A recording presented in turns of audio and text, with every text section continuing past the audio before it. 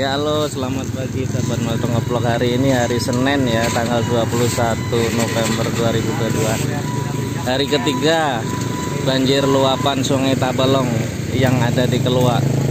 Ini kita tadi pas kebetulan mengantar anak berangkat sekolah nih di Man 3 Tabalong yang ada di Baco ya. Tuh sana dari Jalan Raya ya Simpang Baco sana ke Benua Rantau sana ke Benua Rantau tapi ini infonya banjir ya. Airnya cukup dalam nih masuk sampai ke halaman sekolahan nih. Nih. Tuh. Ini sungainya nih ya sungainya depan sekolahan ya. Nah kita lihat ini halamannya penuh air nih. Tuh halamannya berair libur kak? Lewat pinggir tuh Nih kondisi Mantiga Tabalong hari ini ya hari Senin cukup dalam nih.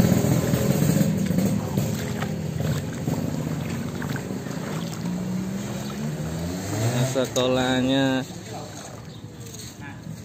terendam ya di sebelahnya situ tuh SD Pare-Pare ya pasti juga terendam juga. Nah, nih halamannya seperti ini nih cukup dalam nih. Sampai masuk ke dalam kelas tuh kayaknya ya.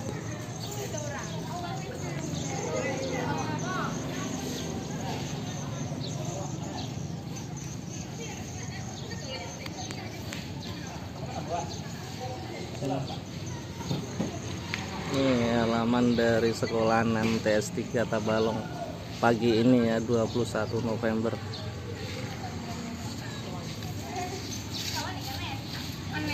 Hmm, masih pada bingung nih antara masuk atau tidak nih anak-anak sekolah ini.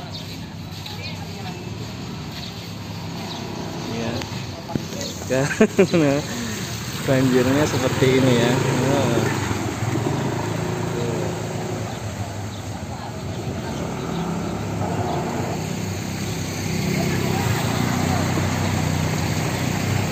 Lewat sini loh bang.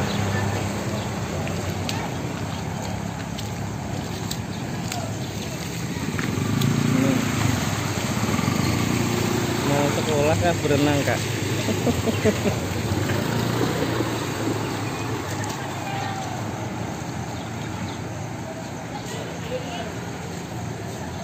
Nah.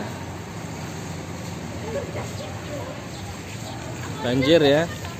Hari ketiga nih di keluar ini masih meluap sampai di halaman dari MTS 3 Tabalong nih. Bajo, MTS Bajo. Ya, kondisinya.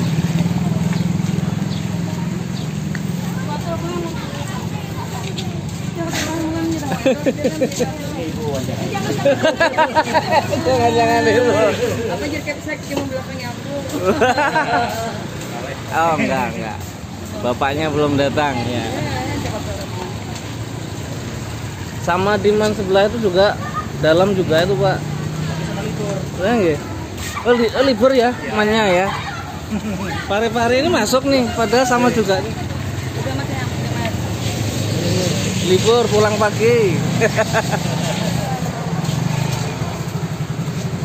ya kondisi Man 3 Tabalong, Jalan Baco, Kudas Tegal.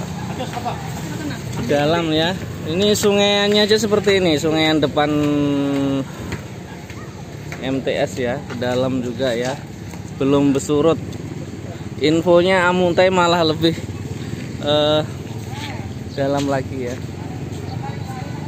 Ya mungkin itu ya sedikit informasi hari Senin ya Hari ketiga banjir di Sungai Tabalong luapannya Masih terdampak di Keluak ya MTS 3 Tabalong masih terendam cukup dalam ya Kita berdoa mudahan cepat surut Amin ya rabbal alamin